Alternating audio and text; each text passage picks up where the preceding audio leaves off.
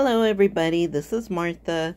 I was making my own envelopes for the cards that I finished making last weekend, and I was using the envelope board.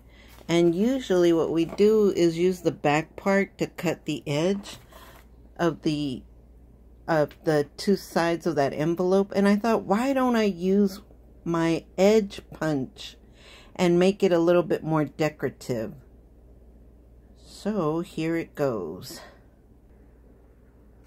And I'm back. So this is the punch that I used and I had bought it in California at Daiso store and this is how it turned out.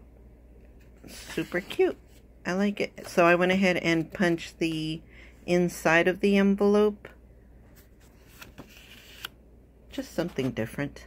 All right, I hope everybody has a good day. Excuse my work area. I know it's bad, but I love it. Bye.